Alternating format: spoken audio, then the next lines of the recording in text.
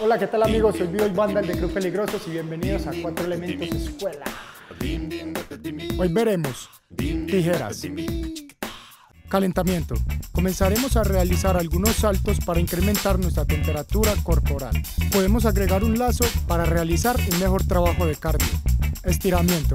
Después del calentamiento debemos estirar nuestras extremidades superiores e inferiores.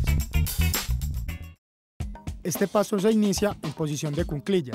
Después se hace un movimiento en media luna con el pie izquierdo hacia el lado derecho, apoyando las manos en el piso por el lado izquierdo del cuerpo. Luego se cruzan los pies de este modo, el derecho por encima del izquierdo y el izquierdo por debajo del derecho, pasando por el pecho como lo muestra la imagen. E invertiremos el paso haciendo varias repeticiones, tantas como lo desee. Dim dim